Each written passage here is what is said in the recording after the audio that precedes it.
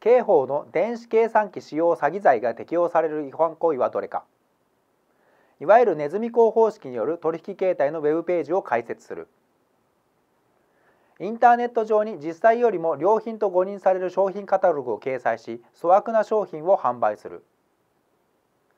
インターネットを経由して銀行のシステムに虚偽の情報を与え不正な振り込みや送金をさせる。企業のウェブページを不正な手段によって改変しその企業の信用を傷つける情報を流す。この中で刑法の電子計算機使用詐欺罪が適用される違反行為はどれか。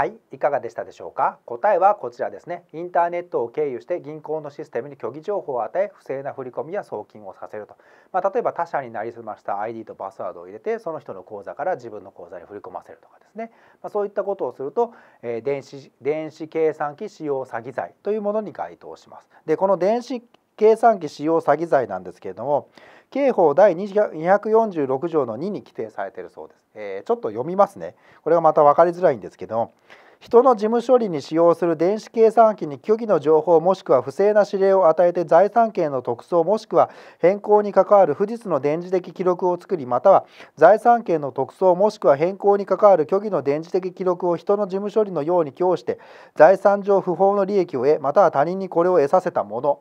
で得させたものは10年以下の懲役に処するというですね、えー、一度聞いただけじゃ全然頭に入ってこないですね、え